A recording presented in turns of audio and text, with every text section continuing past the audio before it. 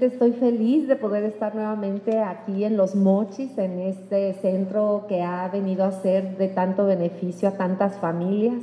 Y la verdad es que sabemos que este espacio es un espacio donde se encuentra mucha esperanza para rehabilitación. Y ahora pues nos enorgullece mucho a todo el equipo de Deep Sinaloa seguir trabajando aún y en esta pandemia pues sabemos que las necesidades siguen existiendo y no nada nos puede parar. Así que agradezco mucho, mucho todo mi equipo, aquí encabezado por la directora Connie Zazueta, por todo ese compromiso, estar de vuelta a esta nueva actividad porque el contacto con la gente es lo que nos hace crecer y nos motiva mucho en DIF Sinaloa.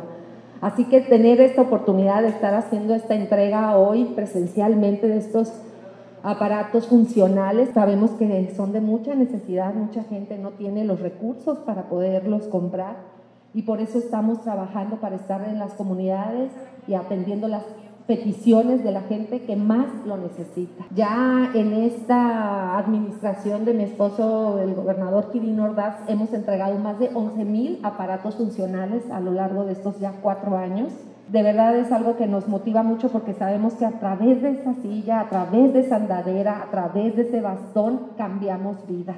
Que sigan contando con nosotros y aunque hay mucha necesidad, que no duden que nosotros seguiremos tocando las puertas para poder seguir obteniendo recursos, gestionando con fundaciones para poder tener más ayuda, ¿no?